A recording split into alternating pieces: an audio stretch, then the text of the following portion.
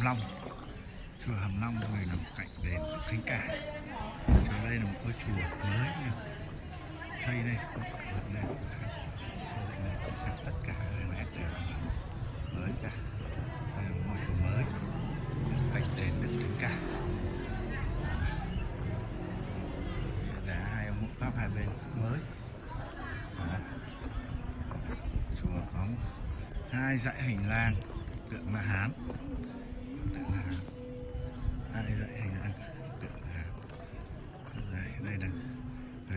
Chùa và đây là bên tay trái. Đây, bên tay trái. Tuy nhiên các tượng La Hán đây. Nó nhìn. Thì này. Cũng cứ la lá la lá giống nhau. Đấy. tai ông nào cũng chạy chạy xuống. Đấy, chạy chạy xuống. Tai rộng chạy xuống. Các tượng được đặt trong tủ kính.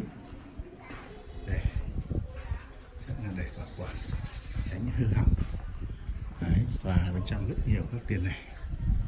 Đấy, các tủ kính nhưng mà các tủ kính này là có những cái kẽ hở để cho người người cho tiền vào. Còn bên kia đây mà một tượng đức phật bồ tát. Ngồi trên tòa sen. Tòa sen. Theo như tờ đây là đền được dựng để bái vọng nhân từ thờ phật hoàng trần nhân tông. À, bên này là có tượng đức phật di lặc. Dạ. Di Lặc. Phật di lặc đang cười. Đây là dãy la hán bên phải. Tượng la hán là bên phải. Như vậy rất dài. Và sợ vào bên trong đây là một ngôi chùa mới.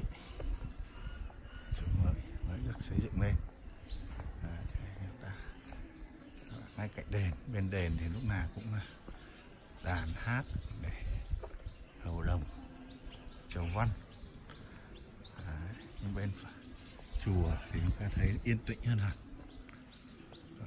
Đẹp hơn. Đấy. Đây có một cái lầu bắt giác lầu bắt giác nó tượng sập bà Quan Âm nó vẫn rác này. Xây bằng bê tông. Thép. Hai con nghê đá này. Nên là có thể nói đây là linh vật lạ. Hai căn. Đưa vào à, bê tông này trông mang dáng dấp của văn hóa Trung Hoa nhiều hơn ở Việt Nam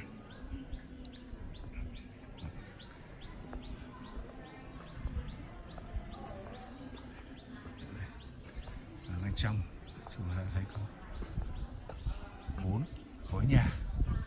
Bốn khối nhà. À, bên đây toàn là là, là, là những chỉnh mới.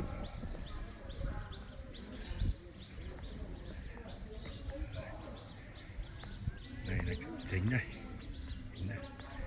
ta nhìn hai con ngây. Hai con ngây này là bằng sứ Đấy, bệ và vẫn bằng đá đặt trên đá trên xây. Sứ đây chắc là cũng là sứ mới nào. À, ừ.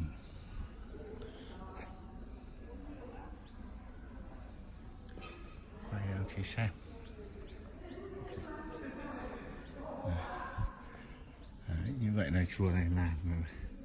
Là nơi để vái vọng lên yên tử bây giờ Phật Hoàng Trần Nhân Tông Đấy.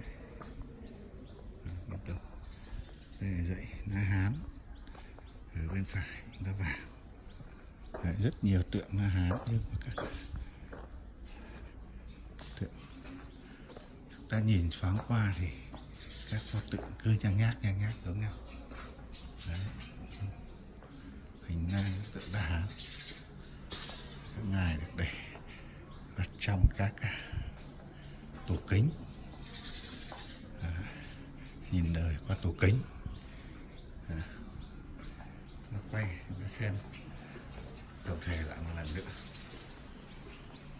Khuôn viên chùa Hàm Long ở thánh cả